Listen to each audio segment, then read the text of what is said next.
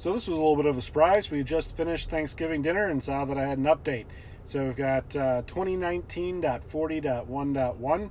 So since it's a dot update um, to 40, there should be some additional features here. Let's take a look at the release notes. First thing we see here is automatic wiper improvements, and uh, they're employing the first production deep neural network trained with over a million images for the detection of water droplets on a windshield and other additional weather cues. That's pretty cool. Um, looking forward to, to trying that out.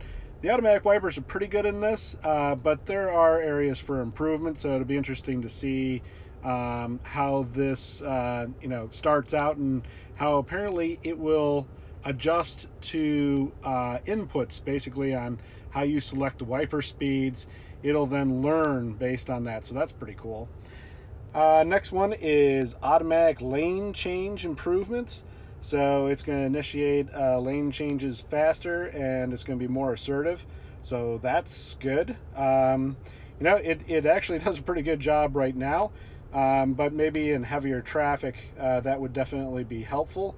So uh, looking forward to trying that out on a couple of test loops as well. So uh, look forward to that in a couple of future videos. Uh, for those of you in the U.S., uh, happy Thanksgiving, and for everyone, thanks for watching.